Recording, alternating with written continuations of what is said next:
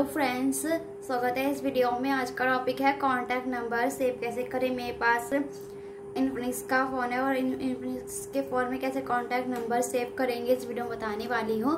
और फ्रेंड्स आप मेरे चैनल को सब्सक्राइब कर लीजिएगा और मेरे वीडियो को लाइक और शेयर कर लीजिएगा। स्टार्ट करते हैं वीडियो फ्रेंड्स आपको कॉन्टैक्ट नंबर सेव करने के लिए डायल पैड को ओपन करना है। डायल पैड को ओपन करने के बाद आपको ऐसा इंटरफेस देखने को मिलता है। आपको यहाँ पे माई कॉन्टेक्ट पे जाना है और इस पर क्लिक कर देंगे। एंड यहाँ पे आपको सो फ्रेंड्स कॉन्टैक्ट्स पे जाएँगे।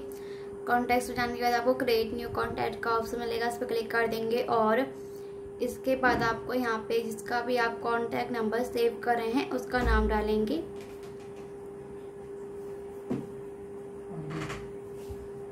ये वीडियो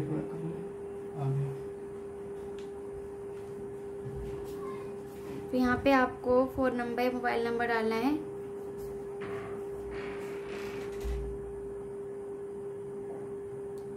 और इसके बाद आपको यहाँ पे सेव पे क्लिक कर देना है और कॉन्टैक्ट नंबर सेव हो जाएगा।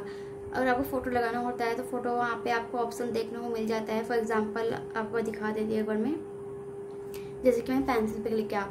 यहाँ पे आपको क्या देखने को मिला कैमरा कैमरा पे क्लिक करते हैं। आप जो है अपनी फ़ोटो क्लिक कर सकते हैं और चूज़ कर सकते हैं।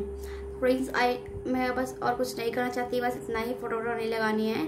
फ्रेंड्स आई होप आपको कॉन्टैक्ट नंबर सेव करना आ गया होगा। तो प्लीज़ आप मेरे चैनल को सब्सक्राइब कर लीजिएगा और मेरे वीडियो को लाइक और शेयर कर दीजिएगा। फ्रेंड्स मिलते हैं नेक्स्ट वीडियो में। तब तक के लिए नमस्कार।